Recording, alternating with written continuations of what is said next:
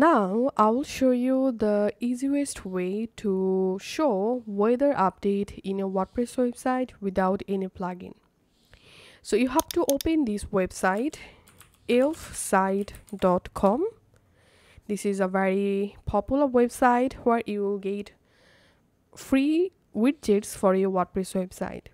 Okay, if you're first time in this website, all you have to need sign up for free once you successfully logged in, here go to widget section and in the search widget you have to type weather. Search for weather and here you find this weather widget. Click on that.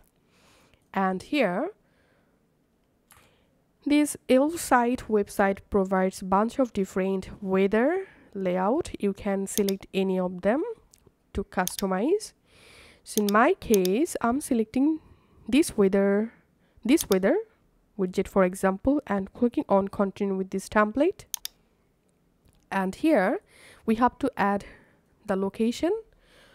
So click on specific location and here click on this city zip code or uh, location box. And here you have to type the location and after typing your city zip code country location here you see the weather update for the specific location.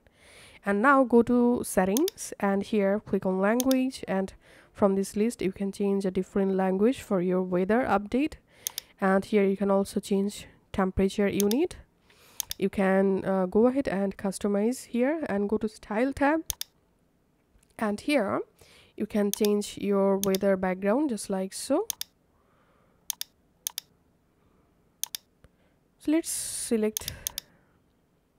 Okay now you can change your background color and theme just like so and go ahead and customize your weather widget.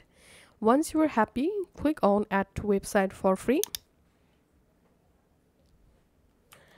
And here we can see the final preview. Now click on publish and here you have to select the free plan and here we can see the embed code. So copy this embed code. Now go back to your wordpress admin dashboard. If you want to add weather widget in your, your sidebar widget then go to appearance and click on widgets.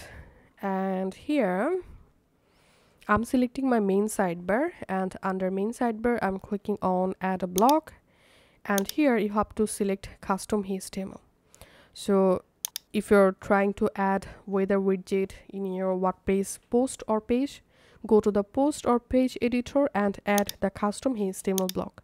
And here just paste the widget embed code and update. And to add the weather widget in your post or page then go to the post or page editor.